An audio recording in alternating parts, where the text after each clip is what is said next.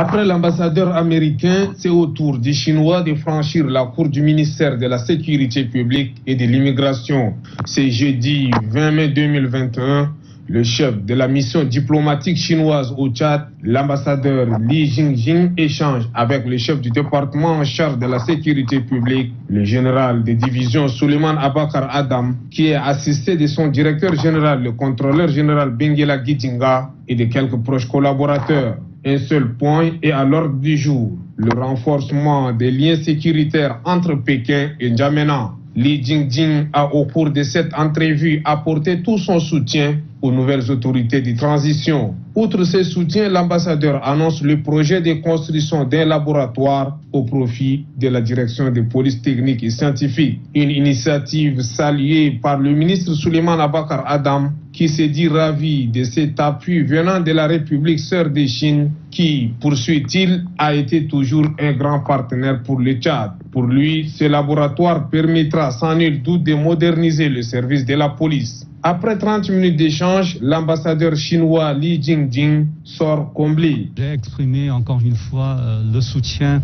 de la Chine, non seulement pour euh, le développement du Tchad, mais également pour la stabilité du Tchad, donc qui est euh, un domaine très important de la coopération entre la Chine et le Tchad. C'est par la coopération qu'on peut arriver à nos... L'objectif principal, c'est le développement commun. Que ce soit en temps de crise ou de paix, la République populaire de Chine a été toujours perçue comme un partenaire privilégié du Tchad, un État avec qui le pays de Touman entretient des relations sécuritaires dans plusieurs domaines.